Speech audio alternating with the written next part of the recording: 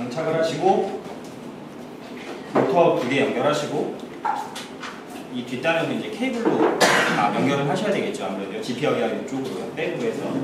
연결하시고 사용을 하시면 GPS 트래커가 돼요. 그래서 어, 웹을 통해서 그 진행이 되고 있는 것들을 내비게이션 좀 이따 이제 영상을 잠깐 보여드릴 텐데 이제 그런 식으로 뭐 이것 이외에도 여러 가지 모듈들을 탑재하셔서 이용이 가능하신 그런 제품이라고 보시면 될 것 같아요.